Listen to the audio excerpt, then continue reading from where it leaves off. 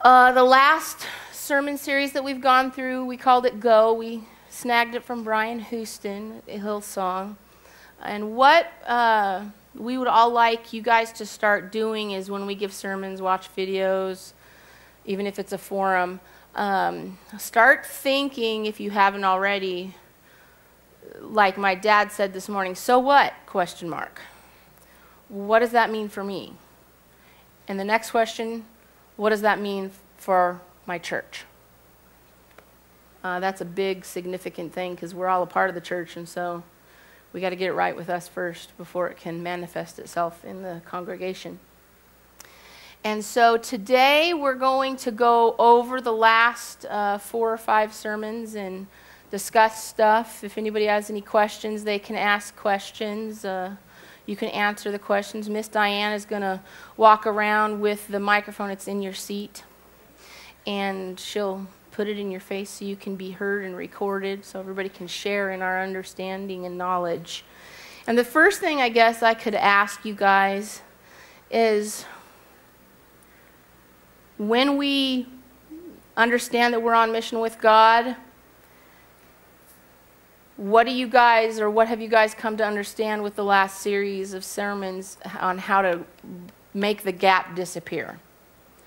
The, the life that we live every day and the unlived life within us, being on mission with God, how, what does it look like when that gap is huge and, and there, and how do we bring it together? Rick.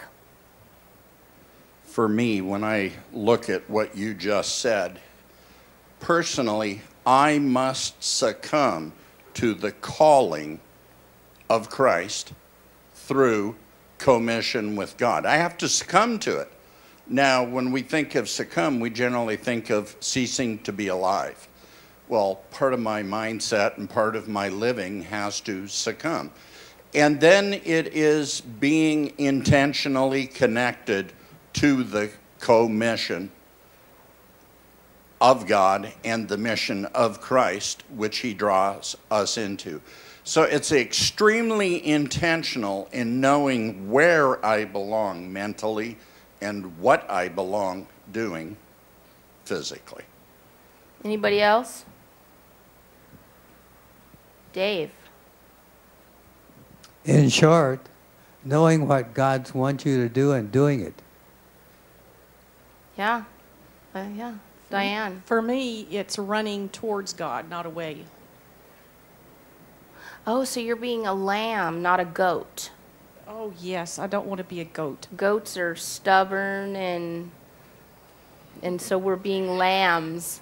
Isn't that funny, Deborah? We talked about that in Bible study. Yes. Where Jesus separates the lambs and yes, the goats. that's why I said it. All those months ago, we talked about do you want to be a lamb or a goat? Um, if you guys are willing to share, you don't have to, of course. Um, how did I word it? Let me read my question. Has anybody come to a new and different understanding than they had previously to how they can apply what we talked about in all the sermons in their own life? How can they make that gap shrink or push the resistance aside, or as Curtis talked about, having that trust in God and you getting on your knees and lifting your hands up, that's succumbing to me. I'm in a weak position and I know God's going to lift me up and he's going to make me whole and I'm going to be able to do what he asks. So anybody have any thoughts or things they're willing to share on like, well, I heard this and it made me want to change this? Mr. Miller. I had to come to grips with the fact that my main life, my physical living, my everyday life, was secondary to my spiritual life, which I was really to make the focus of my everyday living. Uh, we think of getting up, going to work, babysitting the grandkids, whatever. We think of that as our primary function each day. And for me, it was getting rid of that notion and actually getting up and being in the mindset of my vocation of Christ being first and primary. Anybody else? Curtis. I also think it's necessary to accept that there's a dual relationship that I have to have with God, and the dual is the spiritual and the natural, and be willing to embrace the spiritual just as much as the natural, because it's through the spirit that God is really getting my attention and talking to me more than in the natural. Mm-hmm. I find that the more people I talk to, the more I go to school and learn, the more I listen and, and heed God's call, the more I understand that we, as just an individual, nobody else in taking in, you know them into consideration, just me as an individual, I have to embrace the ugly, broken part of me. No different than I would embrace that same type of a person outside of me so that I can overcome that person, so that I can change, so that I can grow and do different. And I use myself as an example, but that's something that everybody has to go through when it comes to changing their life and walking with God and being on mission with Him because He asks us to do some of what seems like the craziest things. Things that are so far out of what we thought we were capable of doing. But when we do it, we don't just survive, we thrive in the midst of the commission that God calls us to be on. James. I've been noticing that I've talked to God a lot more lately. I've been on 36 foot ladders and 40 foot ladders with crumbly soil on the bottom part and somebody holding the ladder, but I've been noticing I've been talking to God a lot more lately. And He does give me my skills. It don't just come from the air or whatever. You- God did a reason. install that. Yeah. Absolutely. Yeah. To make people think, man, there is no glass there like I did two weeks ago. Yes. I happened to go by the Rainier Brewery, look at the yellow part of the building, how they glisten, because we drove past the freeway the other day, Mhm. and I saw the fruits of their efforts, and you can really tell Yeah. a difference. So the Rainier Brewery is The bright yellow and- part, The not the yellow green part part is of the bright and building. shiny, and the windows are clean. You betcha. Wow. Pretty impressive. You are a brave man, and I'm glad it's you and not me. And if God calls me to do that, I guess I'll go do that too, but not right now. Anybody else? Miss Barry. Through our studies um, the past few weeks, um, I have um, found that I am being drawn more into wanting to learn more and to spend more time reading to find out um, about um, my spiritual self and um, learn more about God and what His Word is. And um, I'm also drawn to to try and be in Him through the whole day. And when I spend time in my devotions in the morning and just plug in periodically throughout the day, it's I'm finding it a lot easier. Oh, wow. See, that's awesome. That's wonderful. Yes, Miss Diane. That's how it is for me. James was talking about he talks to God all the time. That's what was is happening to me. And through the Bible studies that we've been doing, God's just been doing a work in me to where God is, I feel God's presence with me always. And I don't really know the difference anymore between work and church and all that. To me, it's all in God. It's one life and it's in Him and he's always with me and i just appreciate that and i think about that when i talk to people saying the right things doing the right things and that's just always with me and that's really exciting to want god that much because that's new for me to want god more than anything else so I had somebody, and you, you just spoke to something, and, and Rick said something when he gave his first uh, idea when he talked. I had somebody describe to me that our life should be lived according to joy Jesus, others, and then yourself. But is that really the truth? I think our pride gets in the way. It's not the truth. There isn't supposed to be an order because God is in everything. And when you function knowing that, then it's just what you say. You don't know the difference anymore of I have you, I didn't have you. You you just he's got you and you know it, you live it, you breathe it and it's that like I said when I was speaking, putting on the armor, you walk in the armor always, but you only pick up the sword when you have to.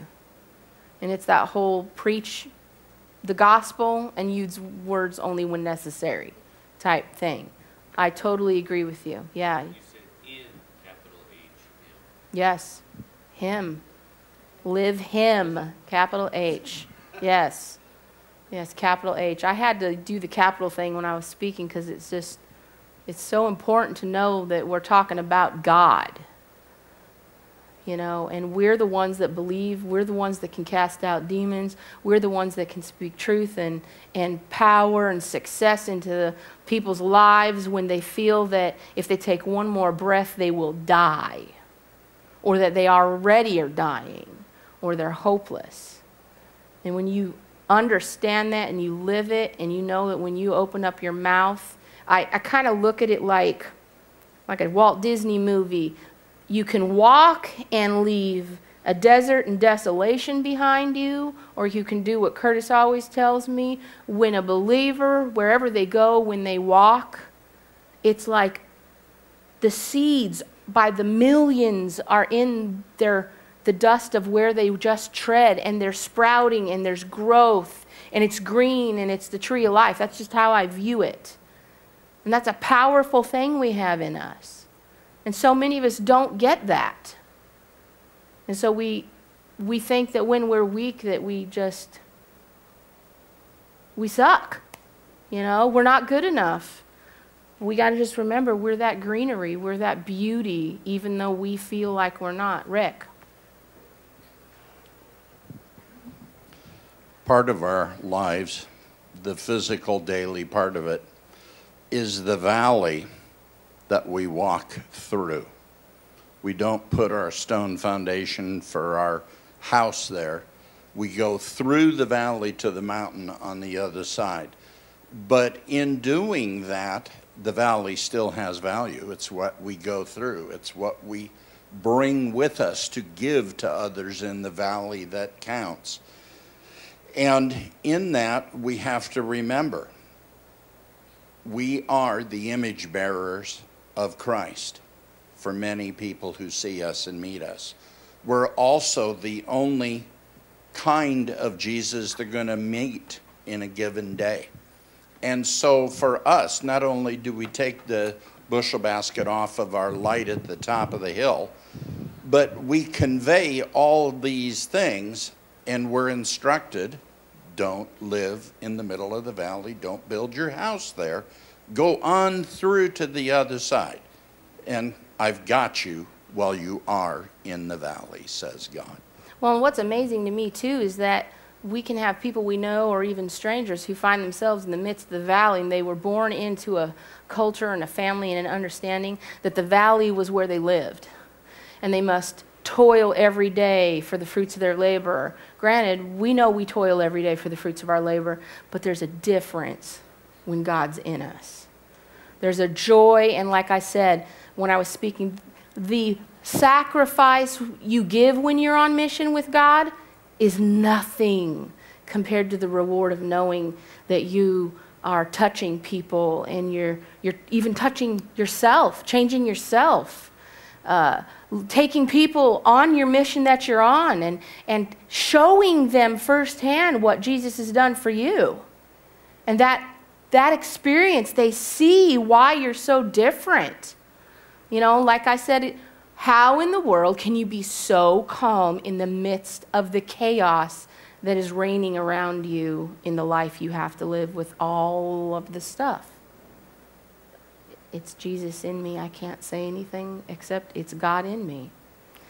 This morning, I think it was, or yesterday, um, our, de, our head denomination, Grace Communion International, posted something on their um, church multiplication ministry website. This is an actual blog that they run Um, it is called The Surprising God Blog, one word, dot .gci.org. And they were talking about uh, a gentleman, Mr. Ray S. Anderson. He's a Trinitarian theolo- a theologian. And they were discussing his book, The Shape of Practical Theology. And I read it to my dad this morning, and he says, Why don't you read that during services? Because it gets to the heart of what we learned in the sermon series coming to fruition in the body of believers, the Church of God. We hear a lot these days about the need for churches to become missional. Various models and strategies are offered, including the one in the diagram below. And if you want to see the diagram, go to that link I told you. Ray Anderson offers a Christ centered approach shaped by incarnational Trinitarian theology. And this is what the gentleman says The mission of the church is grounded in its nature as the community of the children of God whose lives are ontologically grounding in the very being of Jesus Christ as the inner life of Jesus in his relation to the Father is con- constitutive of Christology. So the inner life of the church in its experience of Jesus Christ is constitutive of ecclesiology. Those are a bunch of big words.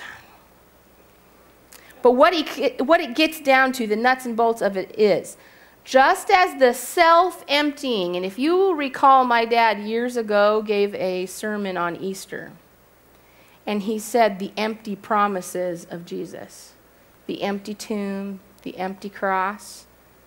Get this. Just as the self emptying of the Son of God via the incarnation is the very basis for Jesus' ministry, so too the church is to be a community of self emptying love. That's huge. That means you give of yourself, the, the God in you, the Christ in you, the same way He did on the cross. Rick. Come into this world full. Come into the world full. Go out of the world empty. As Jesus exists in a community of relation with the Father characterized by self emptying, so does the church exist as a community of self emptying in the world. It is the nature of the church that determines the form of the, its ministry. Jesus expresses this quite specifically in the prayer, As you have sent me into the world, so I have sent them into the world. John 17, 18. The as and the so constitute the hinges on which the existence of God is as revealer and reconciler turns outward into the world. Ministry thus precedes and determines the existence of the church as the ministry and existence of Christ. So, who are you? Christ. A believer is Christ. We are here doing his work. We are him. We live, capital H, him. Paul can thus appeal to the Christians to let the same mind be in you that was in Christ Jesus, who, though he was in the form of God, did not regard equality with God as something to be exploited, but emptied himself, taking the form of a slave, being born in human likeness. Philippians 2 5 through 7.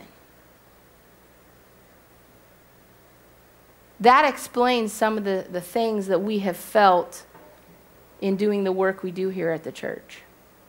I feel a satisfied sense of emptiness, but we perceive the word empty as almost always negative. This is not the empty we're talking about. You gave of yourself. Curtis. Yeah, again, I think again to remember that the process is that God is changing you.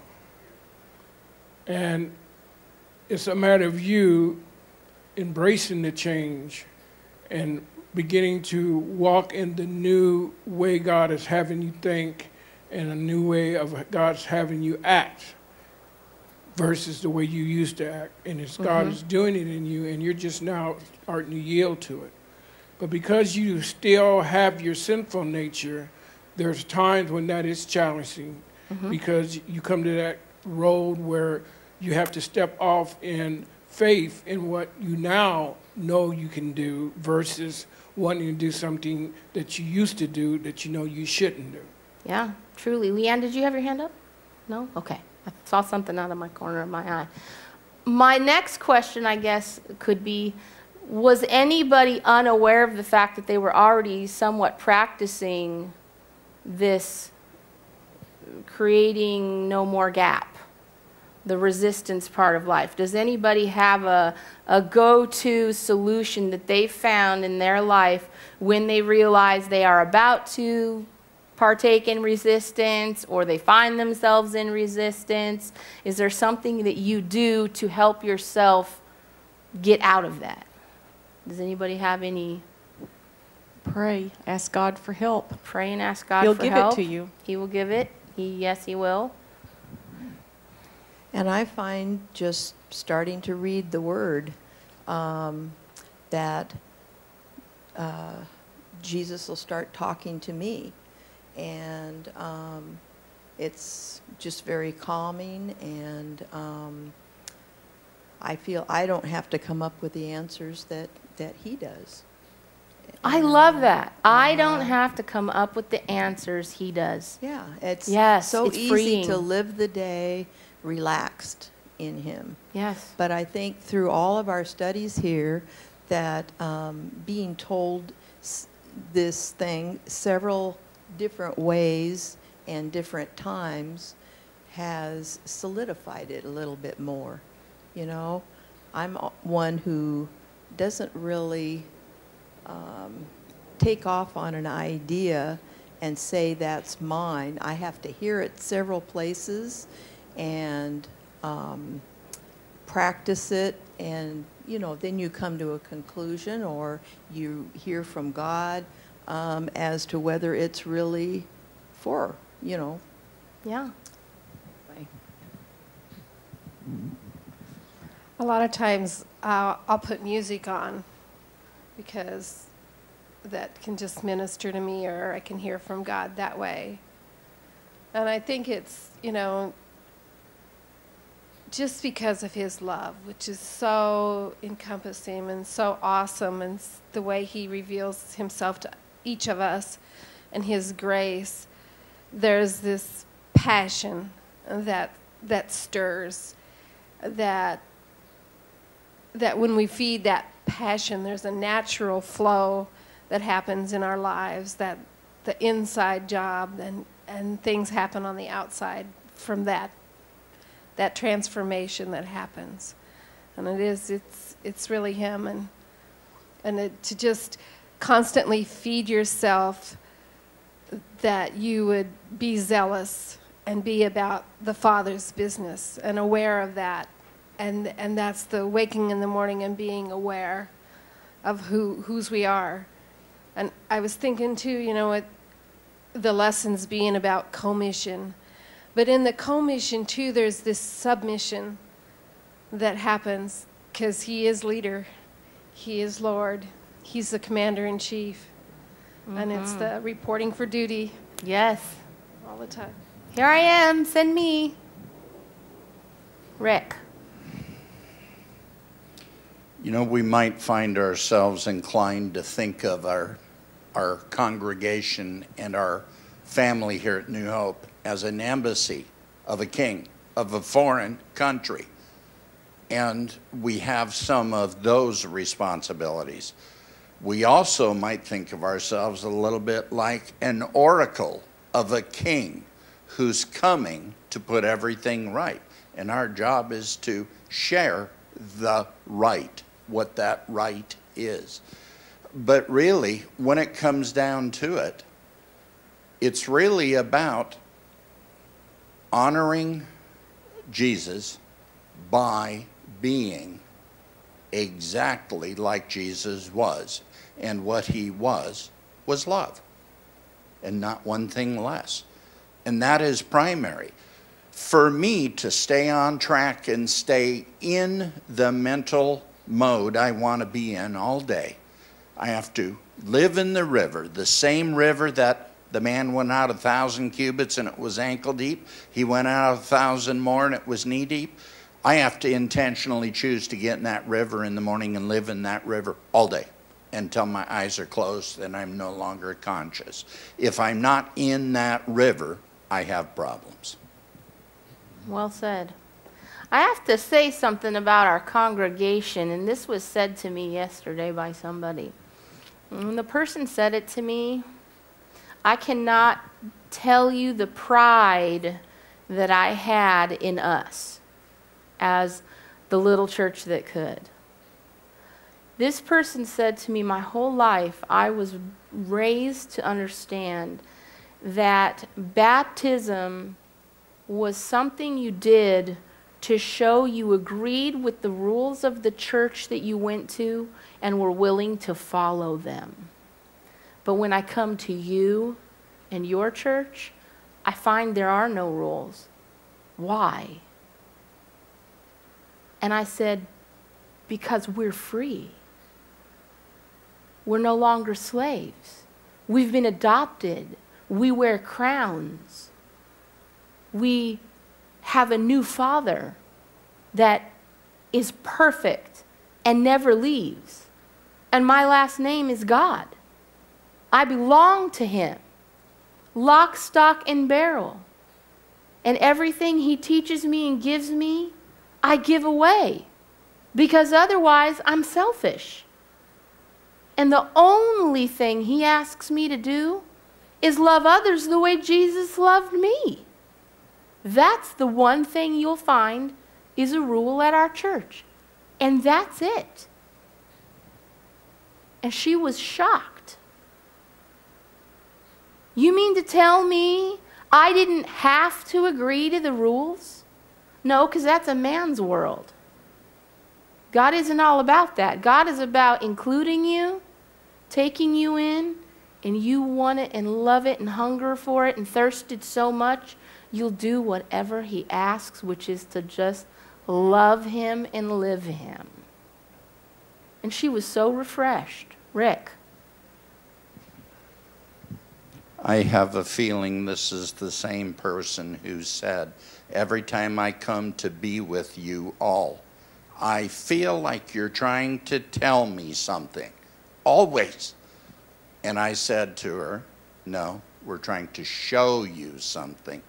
And that was so clear and profound, it, it surprised me how instinctively she took that fact that we're fulfilling a mission and she's the target.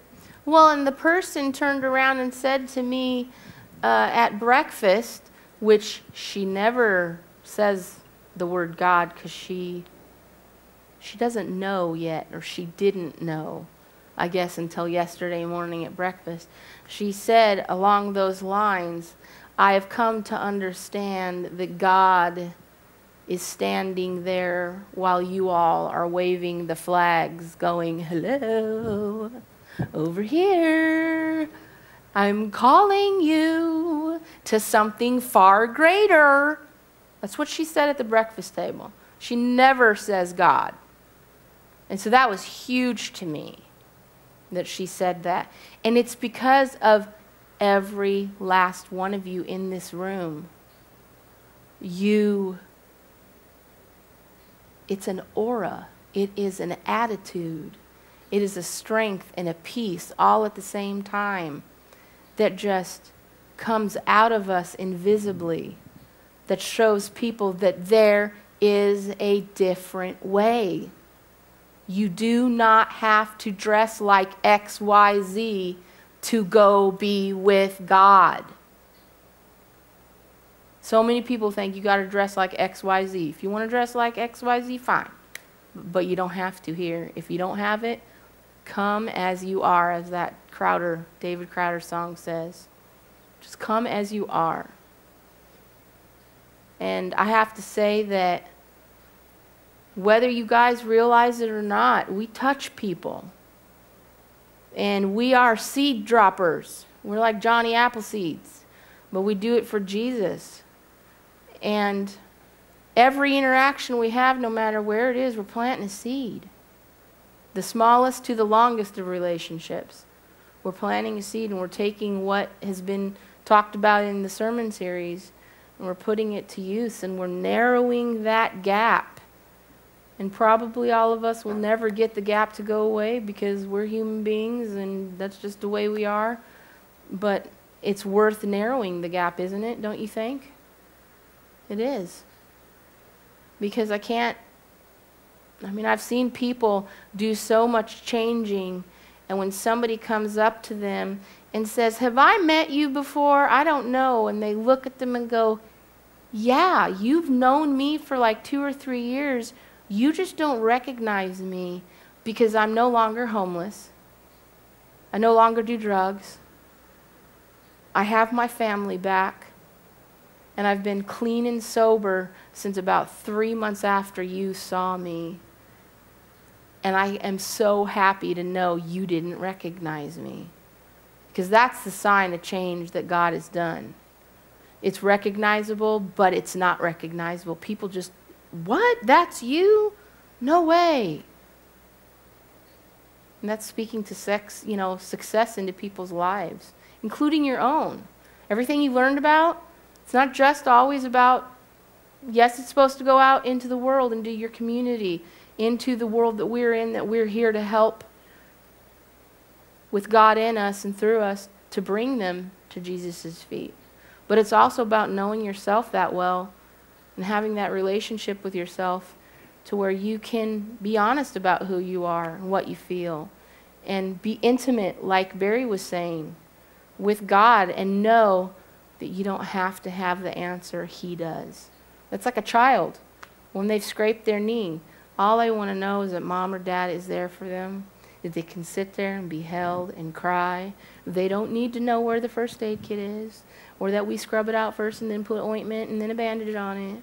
They know mom and dad have it. And they can just sit there and be a kid and be lost and scared and worried. And so, isn't it amazing the God we have? And like that song said, I'm so glad and that I found that song. You know, we're like a bride waiting for our groom, and we're going to be ready for you.